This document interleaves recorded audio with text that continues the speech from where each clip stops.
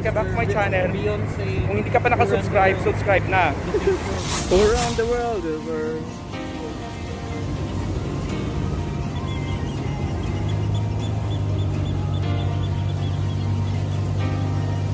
So for today's video, uh, lalabas muna tayo ng Jeddah. Pupuntahan natin ang isang hot spring na matatagpuan sa Alet. Uh,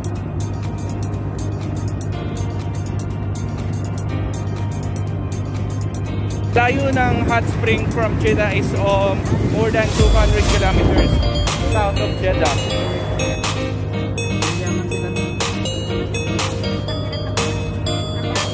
Samahan niyo ako, ituturo ko kayo sa hot spring.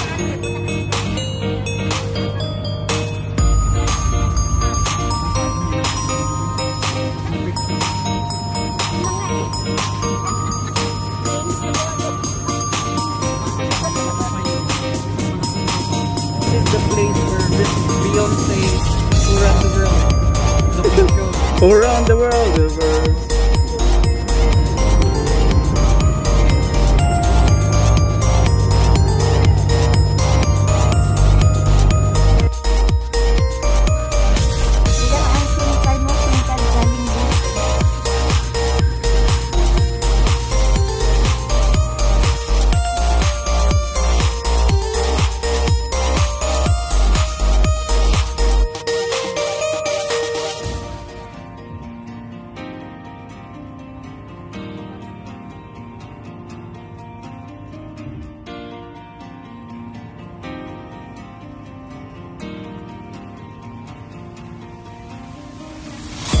nandito na kami ngayon sa ano sa Al-Alet. Parating na kami. Pero hindi pa ito yung pinaka main city niya. Ah, dumaan lang kami dito para kumain dito sa paborito namin ng Albay. See you, see you mamaya. Ito.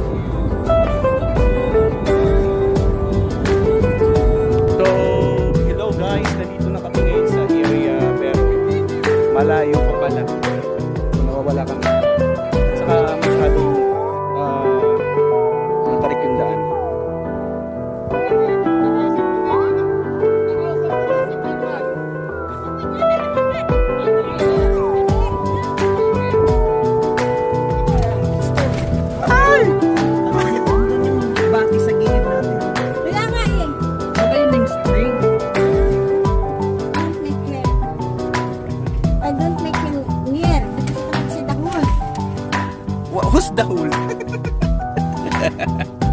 Yung matamalis yung maganda yung kapuupo niya. Dito, ano po siya, para kasi po siya.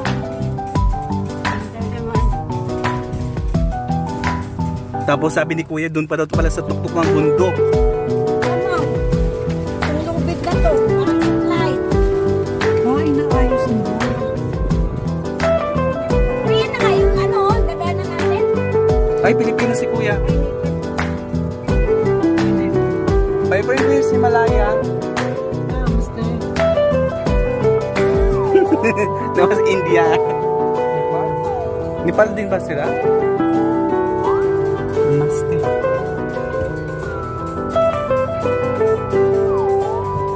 Yung Pilipino nung ngapisti. ngapisti.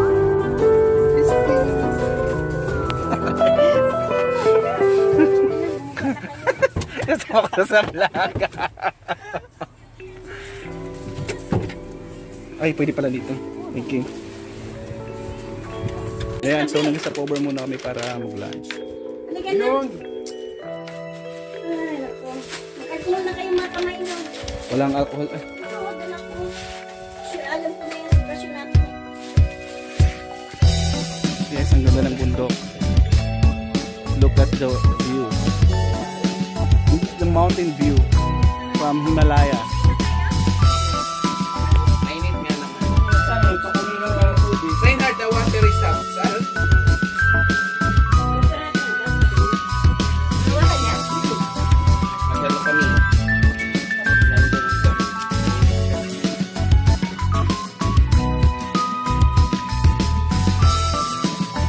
So yung ano na yan, yung hot spring na nandito, para to sa ano gagaling na agad.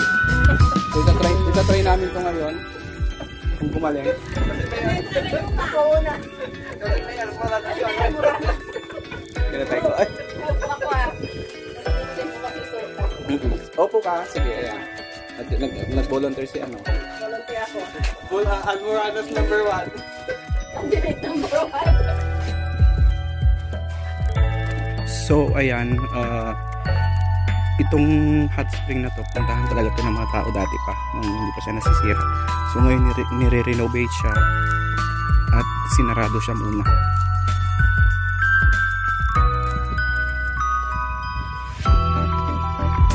Siya sabi nila yung hot spring daw, ano daw to, mag, ma- magandang pang ano, magandang panglunas sa Almoranas daw.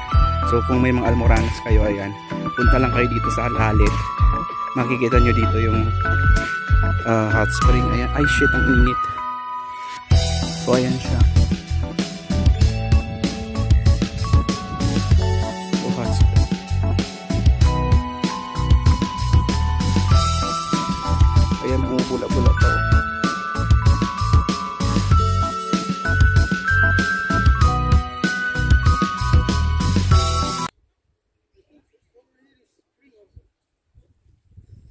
Meron dito oh, bumubula.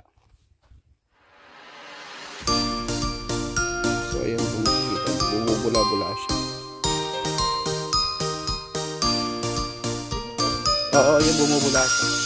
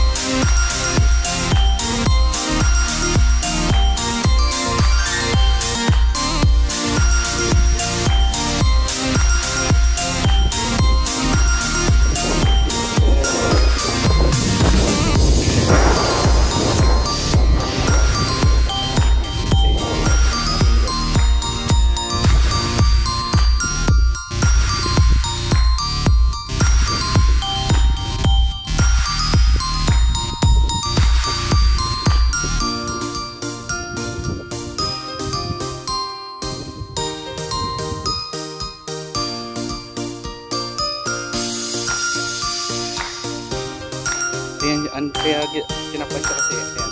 Nagawa yung semento niya.